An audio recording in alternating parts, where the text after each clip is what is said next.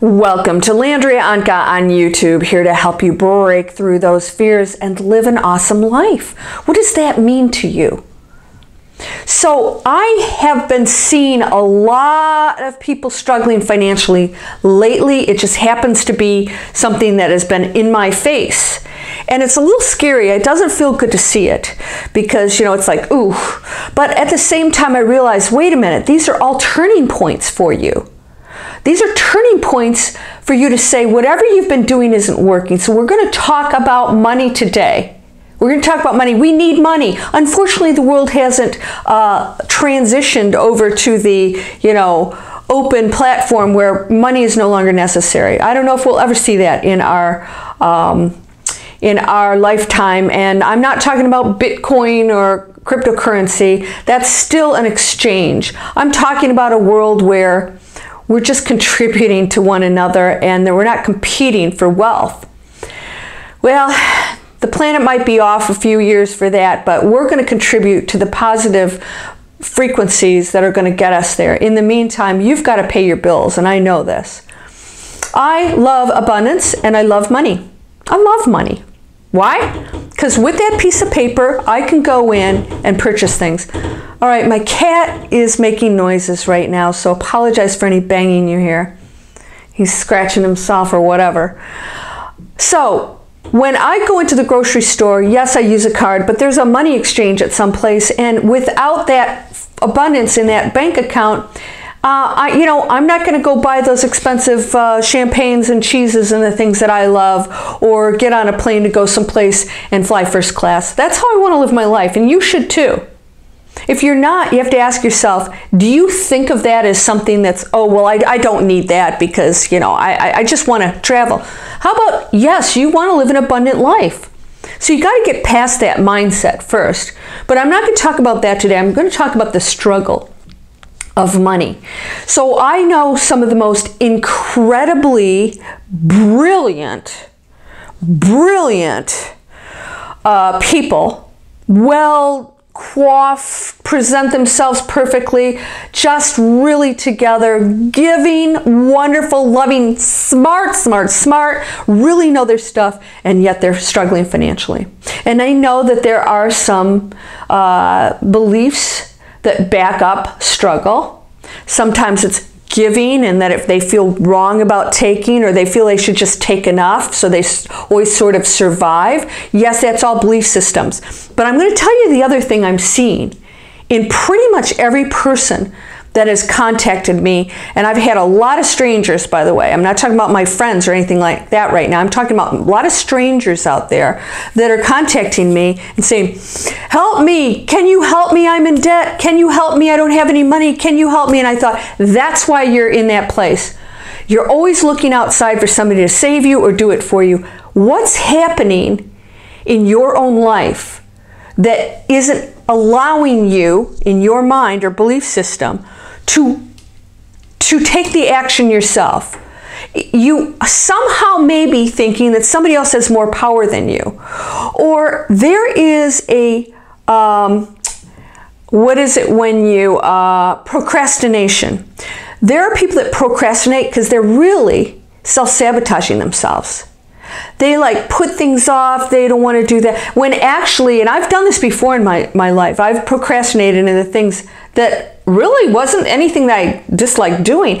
And then I would do it. And when I did it, I was like, this is really fun. Like learning something new or, you know, having to do some things that I hate my taxes. And every time I do my taxes, I actually enjoy doing them, believe it or not. It's sort of fun. I don't know. It's weird. I like. Why do I always put off the last minute? There's a psychological thing out there that tells me that's evil and bad and taxes and ah. When actually I'm sitting there putting the information together, which is a lot easier now. We have technology. It's sort of fun.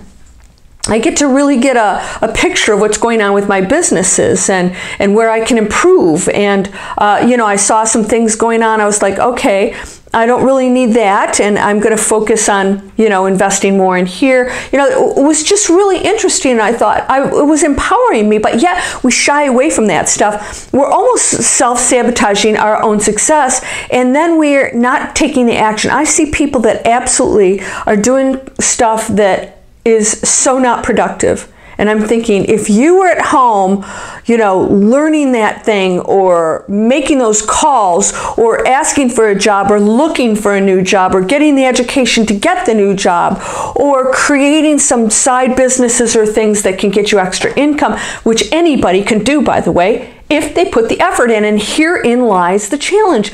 All these people, they don't want to put in the effort. Everything needs to be free for them. I don't know about you, but I don't work for free. Then I get all these people, mentor me, Landria, mentor me. Um, you know what? I would love to, but here's the problem. I literally have thousands of people that ask me to do that. I'm not kidding about that. Everybody wants me to mentor them. They think I'm supposed to mentor them, and I'm thinking, wait a minute. Where's the effort on your part? And I've actually offered to mentor people, and they don't even bother to, you know, schedule something with me.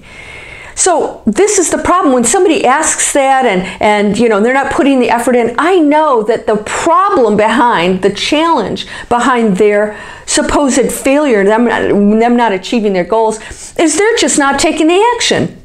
If somebody said to me, "Hey, call me," if Tony Robbins said, "Landry, give me a call," you know, yeah, I'll help you out. I'd be going, "Give me your cell phone, Tony. Give it to me right now. I got to have it in my phone."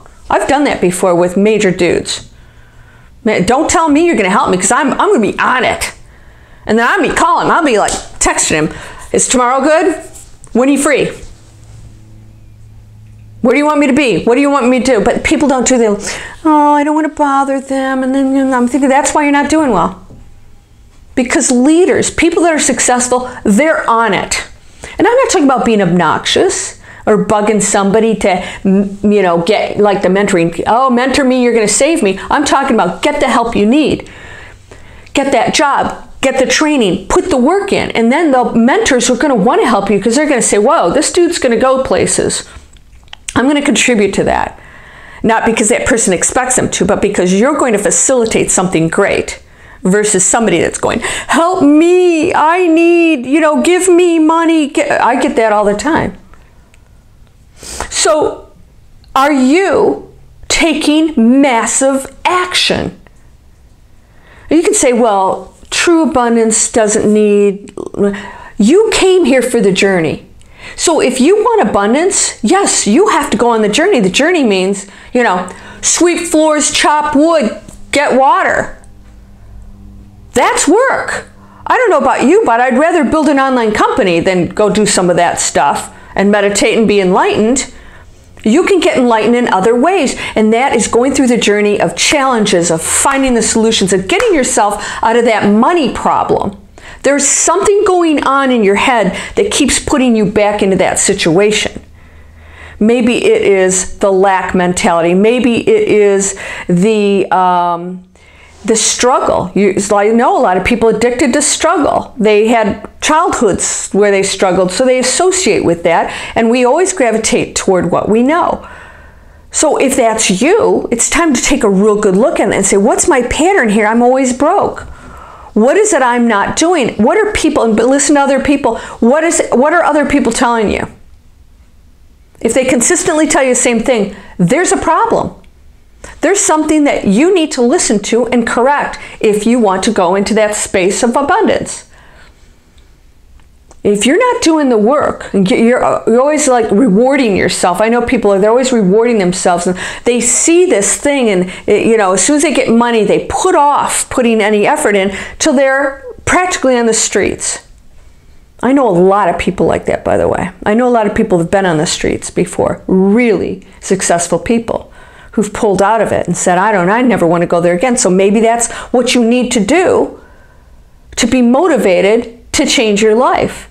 Not these pipe dreams. I see another thing too going on with people. They have unrealistic ideas about what it takes. They're not doing their homework. Having worked with hundreds of companies over 25 years, because that's what I did as investment banker. We funded private equity. We funded companies. We gave them the money to build their businesses and we helped them do that. I saw. I saw what it took. I saw what it took to be successful. And if these guys didn't have a bunch of other things going and they put all their eggs in one basket, that was a problem. But I guarantee you one thing I never worked with a CEO that wasn't 24 7 on it. And there are sacrifices that go along with that. There's no balance there. They were 100% on those, uh, on those companies. If you have a family and other things you want to do, then you shouldn't go down that path. Because if you want to be extremely successful, that's what it takes. And then there are other ways to create businesses. I do them online that doesn't require all of that. But I'm going to tell you something. I'm successful at that because I'm on it. There isn't a day that I don't contribute toward that business. Even though, yes, I don't work like a traditional business. I can get on planes, I can do anything I want.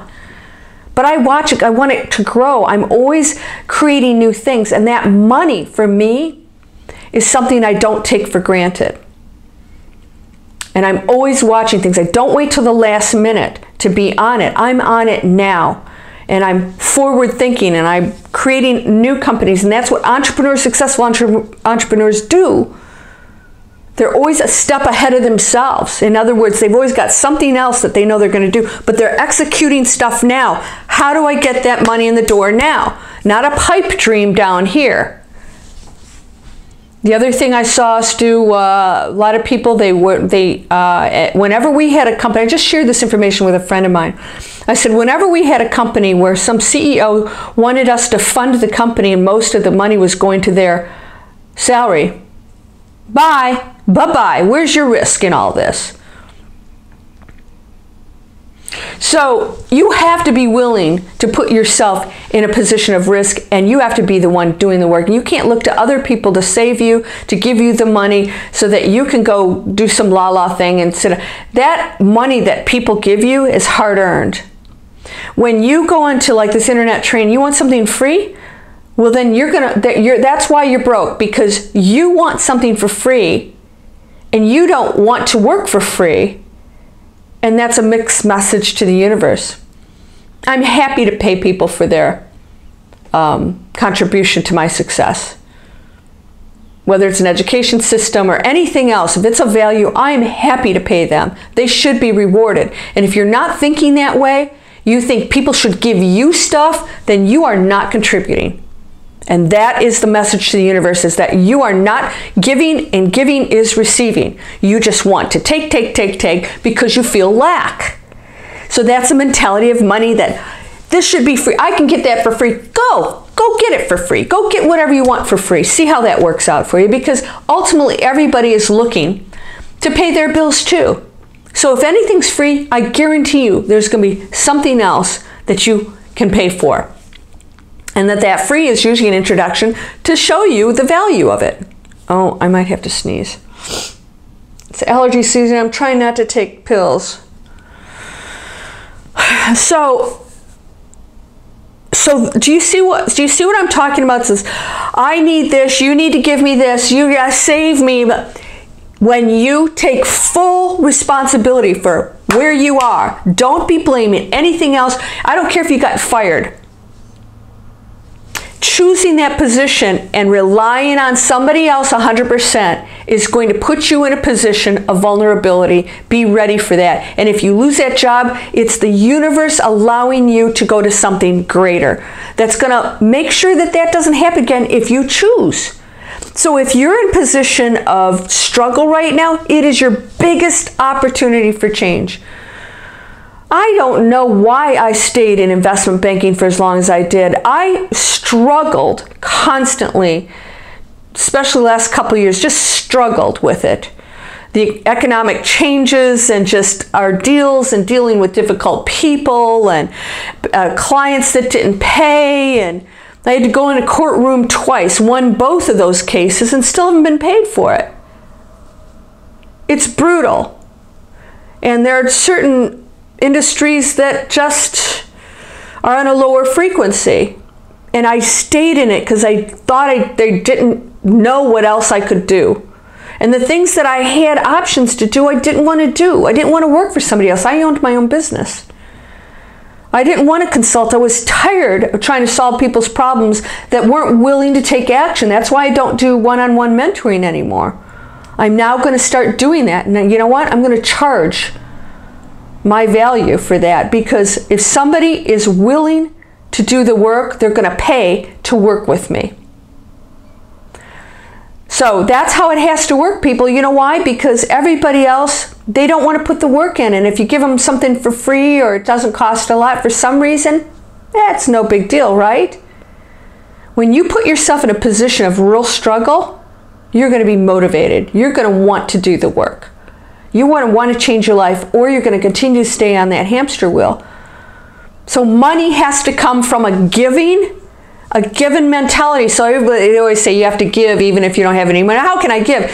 Giving comes from your mindset. It comes from wishing the best for other people. Be willing to give for whatever you can for whatever you're going to receive. Not you need to give me this, you need to give me that. And then that continues, that fuels that lack. I need you to save me. I can't take care of myself. And if you're in that position, ask yourself, what am I going to do today to change this for me? not by getting somebody else to give it to me because I just am not capable myself or whatever you thinking or you somebody owes you nobody owes you anything. Entrepreneurs take charge. Entrepreneurs, successful people are action people. They don't see the drawbacks. They see the opportunity to find solutions and they find them and they change and they adapt and they morph until the thing that they desire comes into view and it starts to work. There's a lot of things I do that I don't have to, uh, or I don't want to. I don't have to. And a lot I just really don't want to. But if I'm going to progress and grow and achieve my goals, I have to do it. There's a lot of things I would really not rather do. But if I don't expand, then I'm just going to be somebody who sits around and dies wondering what else I could have done. And I don't want to be that person. I want to be the one that flourishes. I want to be the one that makes a change on this earth. I want to be the one that gives to other people and also experiences abundance. And that's part of my life. And I took charge. And even when I had no clue what I was going to do when I quit investment banking, I took the, I stepped outside that box to try things that I didn't know if they were going to work or not. And I learned that internet marketing. I'll tell you what, it has been a life changer for me. You guys see this, these little boxes jutting out? Internet training. You click on there, you can check it out yourself. We're so afraid to do something different, including changing bad habits. And then money. We wonder why money is scarce because you're not changing your patterns. You're not changing your thoughts, you're not becoming the new person in a diff- shifting in a different reality. The new person, that person in the reality who has a lot of money, which you have access to, thinks different, acts different, functions completely different, is taking responsibility, is going and doing things that the, the broke person doesn't do till they're pushed. And they talk a good line. I'm with a lot of people that they're just, they email me and they're just talking, talking. I never hear responsibility in that equation.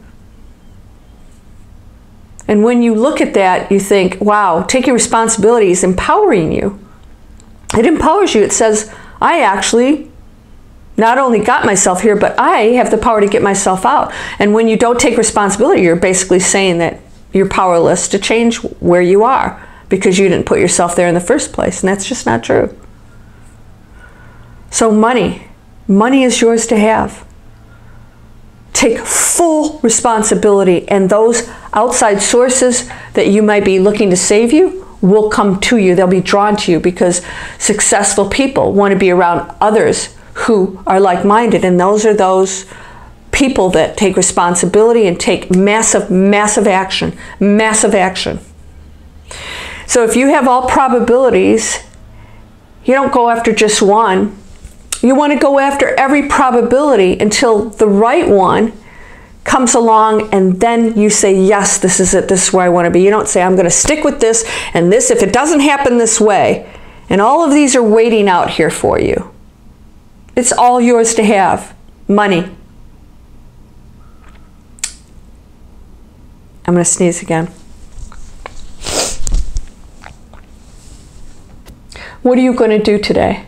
What action are you going to take today to change your situation? What mind shift are you going to have? The poor little me and blaming everybody else that you might go, I've done it. We all do it. It's always somebody else's fault. And then I think about all of the actions that I took all the way up to that moment, and I was totally responsible for all of them.